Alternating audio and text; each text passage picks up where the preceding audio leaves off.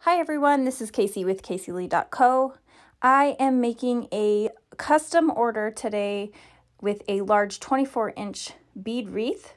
I cut the foam and now I'm just adding wire throughout. Then I add glue on both front and back to keep it nice and stable. This is the focal point of the wreath, this beautiful sunflower. Um, you could get any color sunflower or any type of flower to add.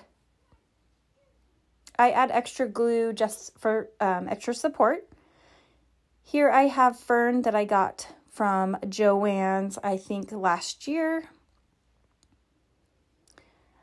I use hot glue and I use a metal pick, floral pick, to push into the hard foam.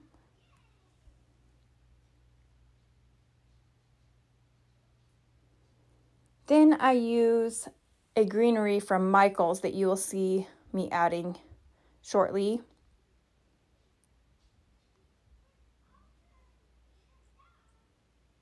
These leaves are um, a hydrangea leaf, but I just add it here for extra volume.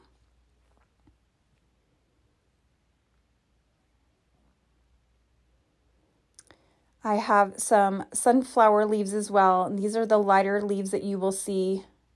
These are the Michaels um, floral. It has a little bit of these little white berries in it to give it some pop of color. I add the greenery all around the sunflower. And I just continuing I continue to go on both sides to make it nice and full. The mix of colors and um, textures is really great in these wreaths. You always want to go back and make sure everything's nice and secure with either the floral wire pick um, or glue.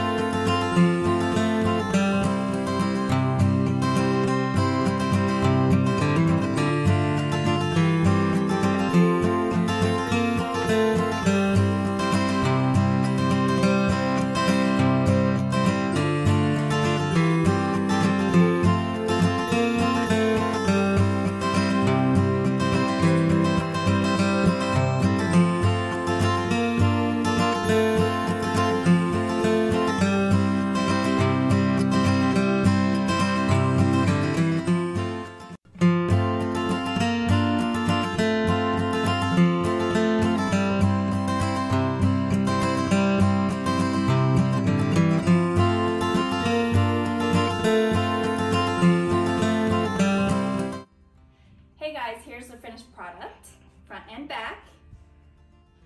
If you want to see more videos like this, go to my YouTube and subscribe. Thank you for following.